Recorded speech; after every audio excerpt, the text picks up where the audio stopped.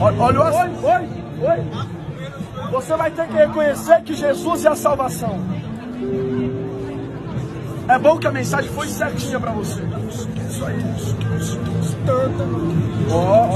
Olha o assédio? Olha cuidado com o assédio? Aí, ó. Vai ter que reconhecer que Jesus é a salvação. É isso que é, isso é o retrato da sociedade. As pessoas não respeitam a pregação do Evangelho. Parabéns para você, viu? A sua maturidade é zero.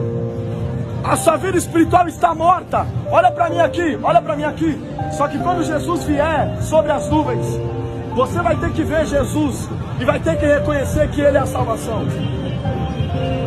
Quando a trombeta tocar, você não vai ouvir, mas você vai perceber que a igreja subiu.